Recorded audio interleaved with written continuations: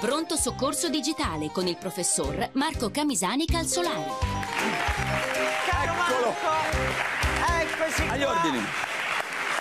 Iniziamo, anzi continuiamo no, a dare consigli preziosissimi Non per quanto riguarda il pronto soccorso digitale, ora che si tratti di un cellulare complicato, di un computer che non funziona, di un tablet che invece non sapete utilizzare. Scriveteci uno mattina in famiglia oppure su Facebook o su Twitter. E allora, caro Marco, abbiamo ancora tante tante risposte da dare, ormai le festività natalizie sono finite da una settimana, però i consigli utili, quelli non finiscono mai. Mai, mai, mai, mai.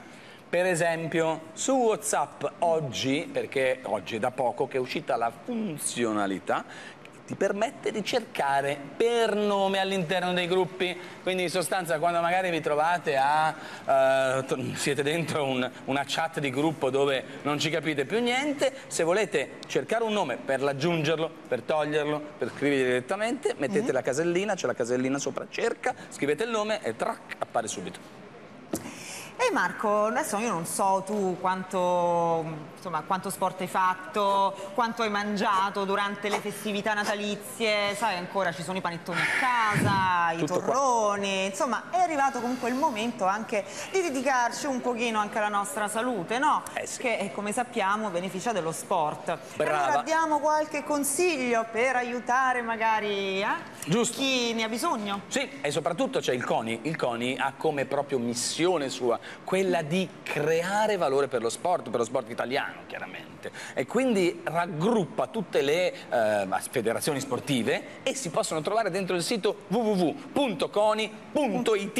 E bisogna andare dentro il cerca e bisogna lì cercare su territorio e promozione. Si individua la propria regione di appartenenza e c'è il comitato a quale rivolgersi. Quindi nuoto, eh, salto con l'asta, eh, E ne sollevamento metta, del mouse. No, quello no. del mouse, quello non esiste, quello lo facciamo Ah, noi, giusto, vabbè. giusto. Ma chissà se io e te, non che io e te, magari non si scelga di fare, non si scelga di fare lo stesso sport. Eh, per esempio, che sport possiamo fare? Sollevamento droni, come si diceva. No, salto in alto, Ah, sai da che parte? Bravi? Uno sopra l'altro, però, perché non- Esatto. uno sulle spalle dell'altro. Perché- Però, a parte lo Eh, sport, dedichiamoci invece a quello che è Sì. ecco, più, diciamo, più famoso, no? che, che si ama Le- prendere un po' ecco, in giro le persone, creare bufale. Allora, una che circola tantissimo, che non è un'immagine questa volta, E non qual è? il mostro sulla spiaggia, ma è quella dell'energia gratuita, il concetto Eh. di energia gratuita. L'energia non è gratuita, anche quando si parla di stazioni fotovoltaiche, turbine eoli- eoliche, dove dici ma tanto il vento. Sì, però per andare a creare le infrastrutture che prendono energia dal vento, dall'acqua, da quello che è, ci vogliono soldi e quei soldi poi i governi devono chiedere ai cittadini e quindi Eh. poi eh, li prendono dalle tasse oppure se li fanno prestare dalle banche ma poi ci sono gli interessi no? e così via e anche se dovesse arrivare un marziano e ci costruisse una bella turbina eolica, eolica gratis poi bisogna manutenerla e quindi Ecco. l'energia gratuita a me spiace tanto ma per ora non esiste niente È incredibile comunque che si continui a insistere sempre sulla stessa bufala, no? Malgrado sia stata comunque sconfessata già da tempo. No comunque, quando arriva il momento del video curioso, Sì. io non so mai che cosa aspettarmi. Questa cosa mi inquieta Eh, infatti è pochino, curioso, eh. se no non sarebbe curioso. E allora, hai presente il trucco? Quando vai al trucco e dici truccatemi, prego. Oggi le tecnologie permettono di avere quello che vuoi sul viso. In questo caso c'è un proiettore, perché questo è quello che vedete, è il risultato di un proiettore, come quello che, ave- che qualcuno ha in casa per vedere i film, che però inquadra, e quindi illumina solamente la faccia e soprattutto ha una tecnologia in grado di riconoscere i movimenti del viso e quindi anche se il viso si muove un Eh. po', lui sa esattamente dove proiettare e a quel punto puoi proiettare quello che vuoi. E gli effetti, come guardiamo qua dal video, sono incredibili, a volte un po' inquietanti, a volte te- molto tecnologici, a volte possono addirittura arrivare, come vediamo qua dietro, proprio a, fare, a far sembrare il trucco che magari non c'è. Quindi questa è una forma di espressione artistica Sono- tecnologica. Da una parte sarei quasi curiosa di provarla su di me, dall'altra però inquieta, come, po' come sì. tu hai appena detto, però mi inquieta ancora di più Sì. Quello che combinate te e il tuo gemello virtuale. Se uno ha un gemello, ma io non potevo avere un gemello così, dico, ma io non lo so, una persona così seria, per bene, come me, bah, vabbè, guardiamolo. colleghiamoci. Allora, fammi capire, eh, questo l'ho bippato, sì, fagioli, fagioli, fagiolini, fagiolini. Il cestino è qua. Poi cosa mancava? Questo, questo, che, che frutto sarà questo qui? Che cos'è? Non si è mai visto un frutto così. Vabbè, fa niente, lo bippo e via. Poi ci sono, ho dimenticato le banane. Oddio, ho già fatto la casa. Aspetta, questi sono i soldi della cassiera, non sono miei. Ah, caro Marco, qua è un disastro, ma un disastro. Io non mi sento tanto a mio agio con tutte queste cose qua analogiche. Eh? Io, come sai, mi trovo bene, come te d'altronde, nel digitale. E quindi, in sostanza, davvero la spesa, quando si tratta di fare la spesa, ah, diventa un incubo. Invece ci sono un mucchio di aiuti che arrivano dal digitale. Per esempio, lo sai che esiste un'applicazione che si chiama Supermercato 24.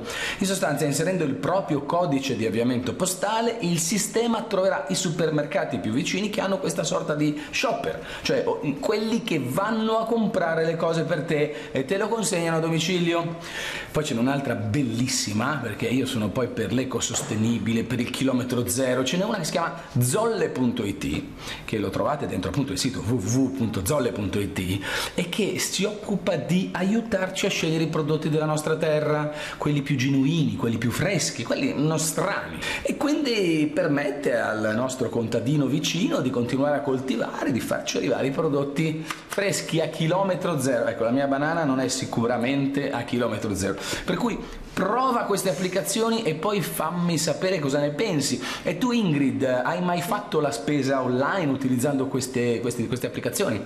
Mm, sì, la spesa online l'ho fatta, ma queste applicazioni non ancora utilizzate. Mm. Vabbè, sicuramente. Marco, tu? Ma io compro tutto online, anche le scarpe, figurati, tutto. Tutto, tutto, tutto. tutto. Bravo, vedi, lo sapevo, noi siamo gemelli mica a caso. Nel frattempo, io continuo qui a cercare di districarmi Ah, in mezzo a questi codici a barre qua non si capisce niente. Non vedo l'ora di tornare alle applicazioni, guarda. Ciao, buona giornata. Ciao Marco. Questo è un cestino.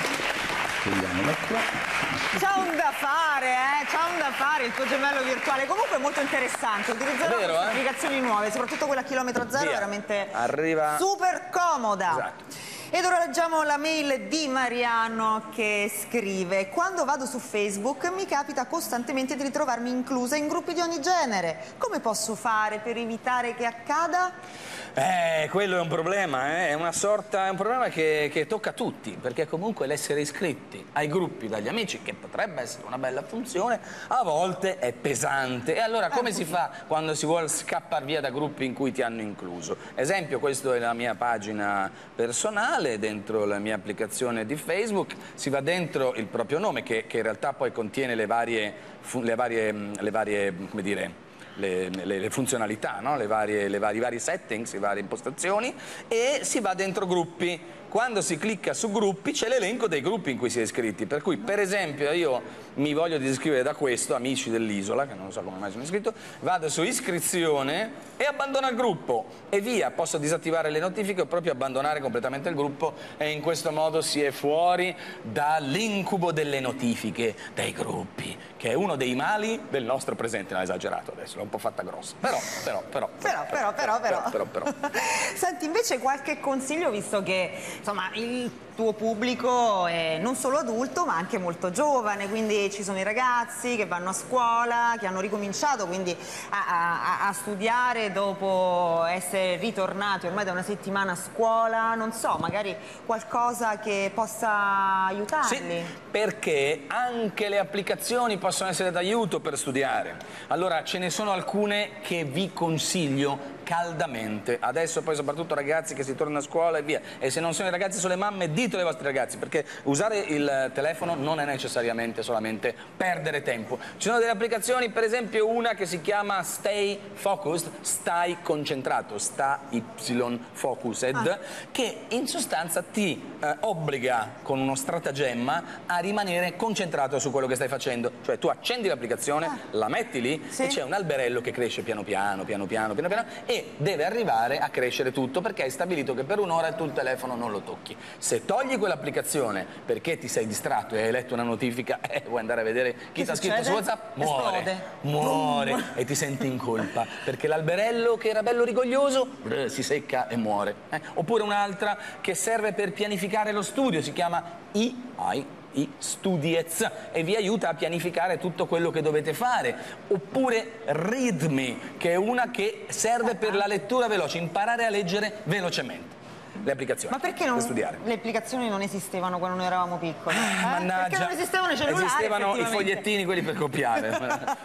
E anche oggi salutiamo rammentando che chi è interessato può contattarti e può farlo cercandoti su Facebook come Marco Camisani Pronto soccorso digitale. Grazie.